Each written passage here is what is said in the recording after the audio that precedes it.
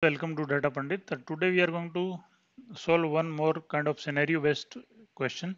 So these kind of questions being asked in ab interview question interview uh, process, right?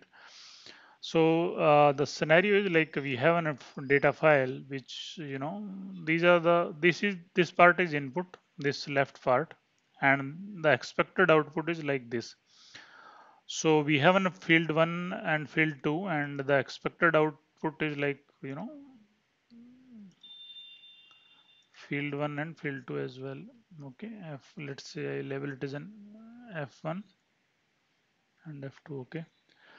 So the question is like uh, we have some same number of records in the output also and uh, but we want to reverse the second field right? So so first we will talk about why these kind of scenario is getting asked you know in interview questions the motto of these questions is like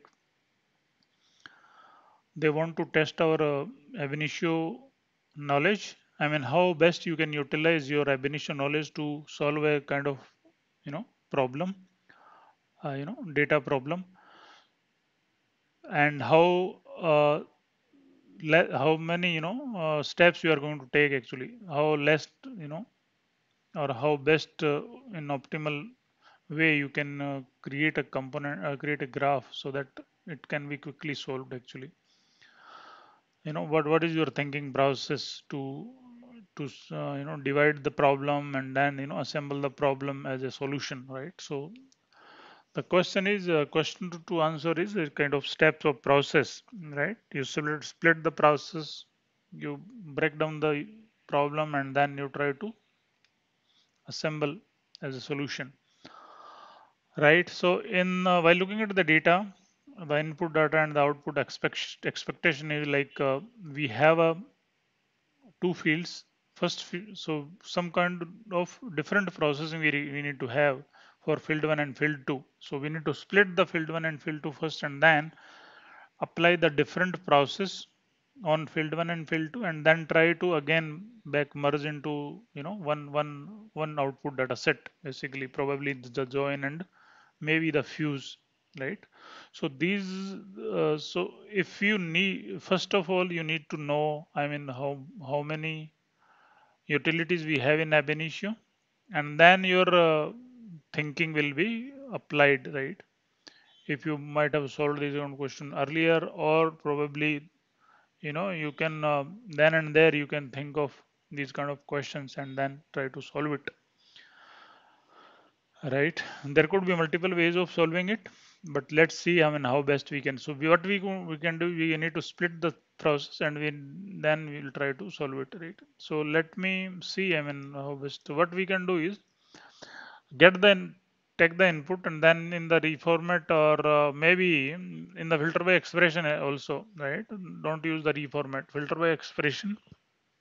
Sorry in the reformat itself we cannot do in filter by expression because I want to split the uh, split the first field and second field. So what we can do is we can take the count of two in reformat and then in transform one we can map the uh, only the output first output might be the field, field one and second output would be the field two, right?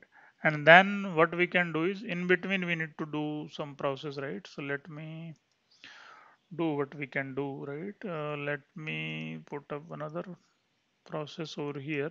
So I think in between, right? I need to have this process from the reformat. Uh, my this component should come over here. Right. Uh, let me check. think this is not working.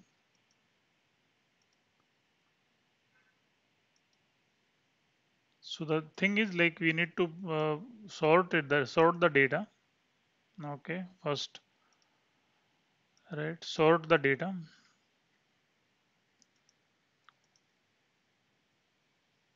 and and sort the data and then try to fuse it, right? Maybe we can uh, create one more field basically. Here itself we can create one more field, right? In the uh, transforms second transform we can create one more field called uh, you know next in sequence okay? So that will assign the you know num- uh, next in sequence and then the, that uh, data could be passed into the uh, into the sort right? And then uh, sort basically on the newer created field right? So that it will be reversing the order of the uh, placement of the data right? So if you look at the cv uh, abc would be you know converted into the CBA because abc so we will have a next in sequence sort and c sort will be on the newly created field right? Next in sequence will be assigned within the reformat over here in the second uh, transform. And then what we can do is uh, like after sorting we can fuse the data right? So let me if I could take this one.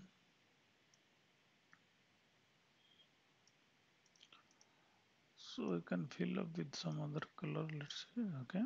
Maybe this one and then right from output of this sort will go into the second uh, uh, input port of fuse and this this can be fused and then the output will be created. So these kind of thinking you can do i mean you can design this graph right? Um, okay and uh, yeah i mean uh, we can solve these kind of questions right? Thank you so much. Please subscribe my channel and we will solve these kind of you know new questions as well. Thanks